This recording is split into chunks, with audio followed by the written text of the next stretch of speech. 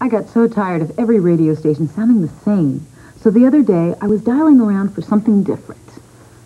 And I found a station I really like. It's WWYZ, the new FM country station. What a nice surprise. Today's country is great music. It really has changed. And I guess I have too. Try the new country music on Connecticut's new Country 92.5 WWYZ FM.